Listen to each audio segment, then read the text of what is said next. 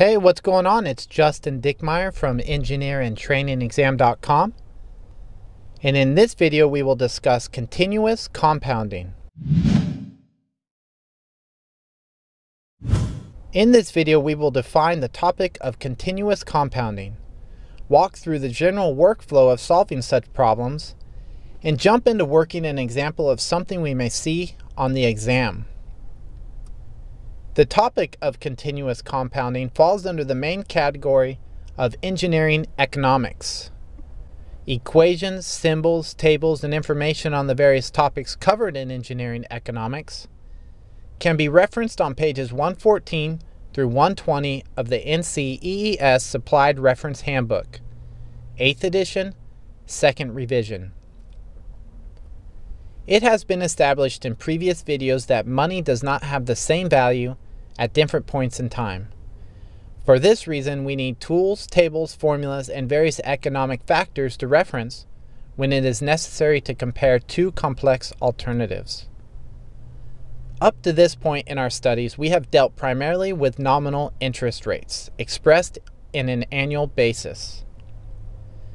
Having this nominal rate, as well as a defined period, we could quickly jump to referencing the appropriate economic formulas found in the table on page 114 and the compound interest tables starting on page 116 of the NCEES reference manual to carry out the necessary analysis. However, when we encounter a problem where it states that the interest is being compounded at a rate greater than once a year, we must take a detour in our analysis and first convert that nominal rate into its effective interest rate.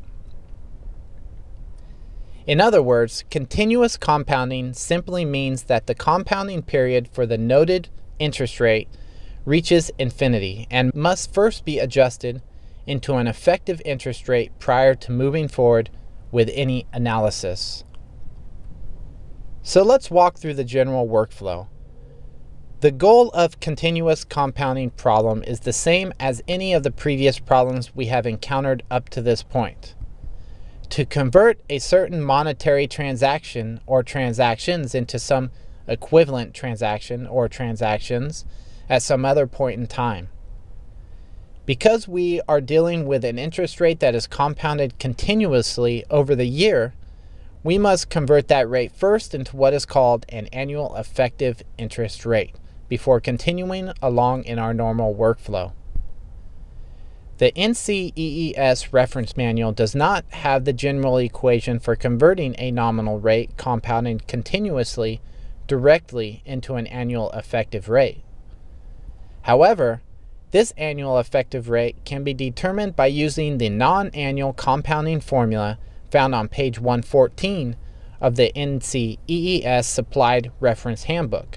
8th edition, 2nd revision. The non-annual compounding formula is I is equal to 1 plus R over M raised to the M minus 1, where R is the nominal annual interest rate and M is the number of compounding periods per year.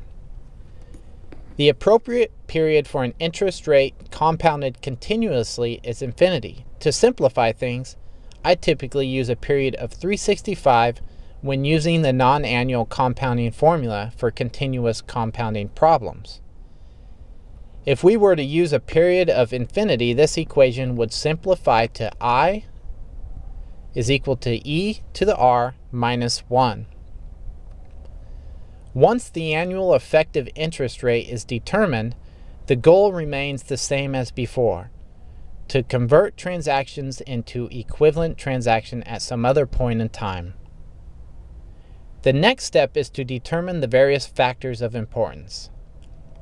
These factors include number one, the annual effective interest rate, which we've already established. Number two, the period. Number three, the identity of the current transactions, whether they're future, present, or annual. And the equivalent value to be determined, whether it's a future, present, or annual value. Once these variables are defined, we can solve these problems in one of two ways. Either by using the formulas found in the table on page 114 of the NCEES Supplied Reference Handbook, or by using the functional notation version of these formulas and referencing the compound interest tables starting on page 116 of the NCEES Supplied Reference Handbook. In an effort to establish efficiency, it is best not to use the compound interest tables to determine the final answer. This is because, as you will see, oftentimes the annual effective interest rate won't be a whole number, requiring an interpolation if the compound interest tables are used. So let's run through an example. A local bank is offering a savings account that pays out 8% nominal interest, compounded continuously, on accounts opened in the month of August. If an engineering firm jumps at the opportunity to open up an account and plans to invest $7,500 a year into it, how much money will the firm have after seven years? So here's the solution. The goal is to determine how much money will be in the savings account in the future after depositing $7,500 annually over a seven year period. The problem states that this is a continuous compounding problem. With that, we need to automatically remember that any interest rate that is compounded more than once in a year is converted from a compound nominal rate into an annual effective rate. Our first step will then be to convert this nominal rate into an annual effective rate. This can be determined by using the non-annual compounding formula found on page 114 of the NCEES Supplied Reference Handbook. The non-annual compounding formula is I is equal to 1 plus R over M raised to the M minus 1 where R is our nominal annual interest rate, which in this case is 8% or 0.08, and M is the number of compounding periods per year, which is equal to 365. Plugging these values into the equation, we get I is equal to 1 plus 0.08 divided by 365 raised to 365 minus 1 which is equal to 0.0833. After establishing the annual effective rate, the total savings can be determined in one of two ways.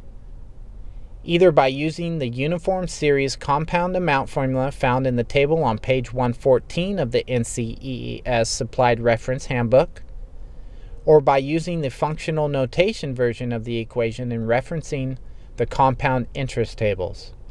Oftentimes, the annual effective interest rate won't be a whole number, so it's best to avoid the compound interest table so we don't need to interpolate between values. This problem deals with an annual costs over a period of time. To convert these costs into a future sum, we can use the Uniform Series Compound Amount formula found in the table on page 114. This formula says f is equal to a times 1 plus i raised to the n minus 1 divided by i, where f is a future sum of money taking into account some uniform annual sum, denoted with an a, at a certain interest rate i over some number of periods n. Like I said, a is a uniform annual sum of money I is the effective interest rate for a specific interest period.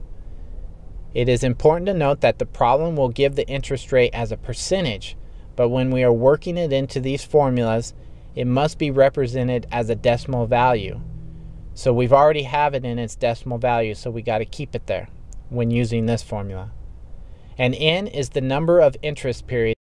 In this problem, we are given f, which is our, the unknown value we are solving for.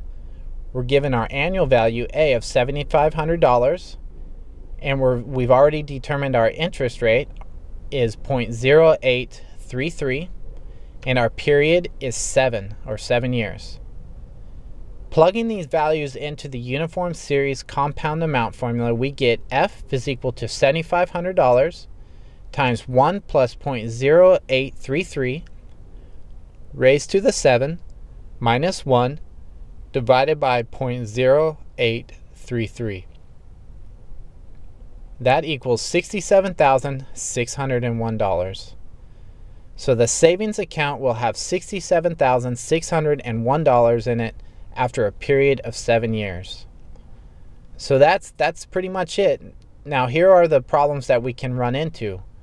One problem is to fail to realize that the nominal rate is compounded continuously and not convert it first into an effective interest rate. We may also fail to reference the correct formula for the specific scenario we are dealing with, or simply fail to apply the effective interest rate over the entire period we are analyzing. These are all simple yet catastrophic mistakes often brought on by the external pressures of time and the other pressures we will encounter on exam day. They are all easily mitigated by realizing that they are all common and looking out for them up front. Well, that's it for this video. Do you know anybody that would benefit from this lesson? If so, let's try to reach out and help others by sharing this video with them. Also, take a second to like this video and leave a comment and tell me how it will help you move forward in your goal of becoming a professional engineer. And finally, type in engineer in training exam.com into your URL bar and visit the site to download for free the transcript to this video